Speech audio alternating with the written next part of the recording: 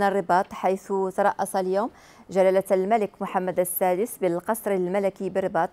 ترأس جلسة عمل خصصت لإشكالية الماء اجتماع يندرج في سياق التتبع المستمر والعناية التي يوليها جلالته لهذه المسألة الاستراتيجية خاصة في ظل الوضع الحالي. المتسم بعجز ملحوظ على مستوى التساقطات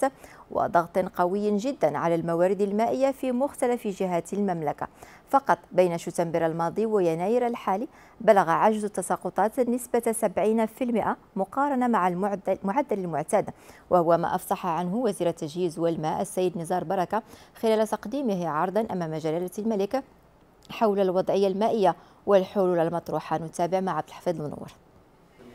عناية خاصة يوليها جلالة الملك لإشكالية الماء اجتماع جديد يندرج في إطار التتبع المستمر لهذه المسألة الاستراتيجية في ظل العجز المسجل على مستوى التساقطات والإجهاد المائي. وفي مستهل جلسة العمل هاته قدم وزير التجهيز والماء عرضا حول الوضعية المائية والتي عرفت خلال الفترة من شتنبر إلى منتصف يناير الجاري. تسجيل عجز في التساقطات بلغت نسبته 70% مقارنة مع المعدل فيما بلغت نسبة ملء السدود 23.2% مقابل 31.5% خلال الفترة نفسها من السنة الماضية.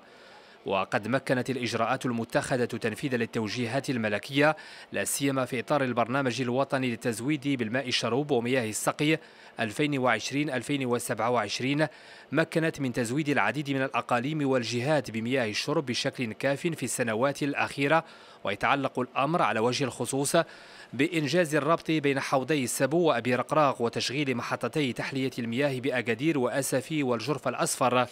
بعد ذلك قدم الوزير بين يدي جلالة الملك مخطط العمل الاستعجالي الذي تم إعداده من طرف القطاعات المختصة لمواجهة الوضعية الحالية وضمان توفير المياه الصالحة للشرب لا سيما في المدن والمراكز والقرى التي تعرف عجزا أو من المحتمل أن تعرفه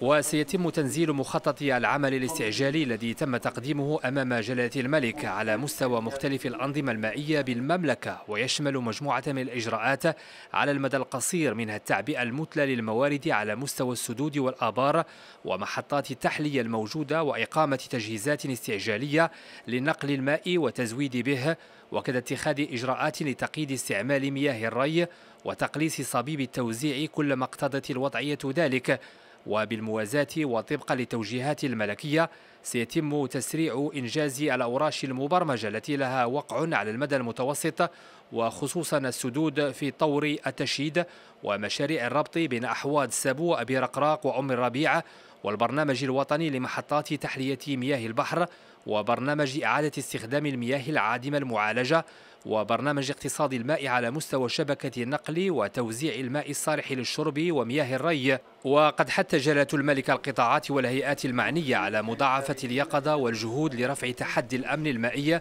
وضمان تزويد بالماء الشروب على مستوى جميع مناطق المملكة. وبهذا الخصوص دعا جلالته الحكومة إلى اعتماد تواصل شفاف ومنتظم تجاه المواطنين حول تطورات الوضعية المائية والتدابير الاستعجالية التي سيتم تفعيلها مع تعزيز توعية العموم بأهمية الاقتصاد في استهلاك الماء ومحاربة جميع أشكال تبدير هذه المادة الحيوية واستخداماتها غير المسؤولة. حضر جلسة العمل هاته مستشار جلالة الملك فؤاد علي الهمة ووزير الداخلية عبد الوافي لفتيت ووزير التجهيز والماء نزار بركة ووزير الفلاحة والصيد البحري والتنمية القروية والمياه والغابات محمد صديقي والوزير المنتدب لدى وزير الاقتصاد والمالية المكلف بالميزانية فوزي الأقجع والمدير العام للمكتب الوطني للكهرباء والماء الصالح للشرب عبد الرحيم الحافظي.